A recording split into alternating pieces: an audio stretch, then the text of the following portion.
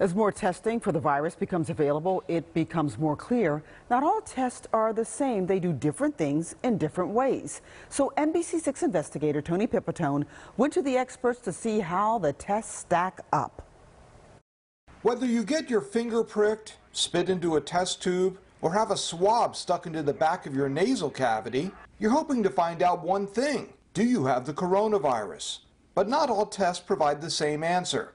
Consider what the big three actually detect. One is the RNA of the virus, two is the protein of the virus, and three is the host reaction, our own body's reaction to the virus. One, often the swab in the nose, looks for the virus itself and is the most reliable, though not perfect.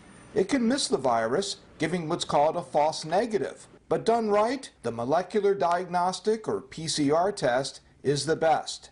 Next best, the antigen test, which can detect evidence of the virus in such things as saliva. A spit test looks for the protein of the virus. That's the antigen test.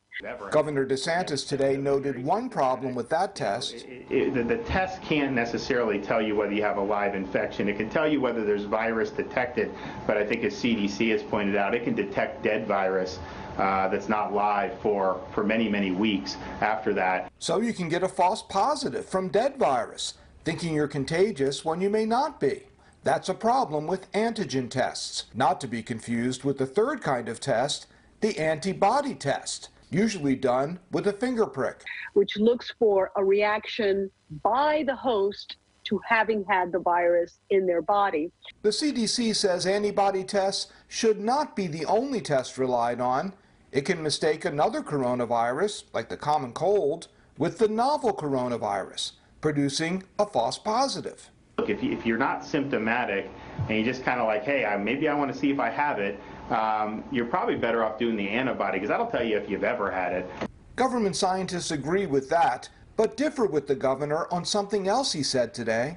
I think if you have the antibodies, you know, you do know that that confers a certain level of protection, and uh, that's a great thing to know. In fact, the National Institutes of Health recommends against using antibody tests for that saying it is currently unknown whether the presence of antibody confers protective immunity against future infection.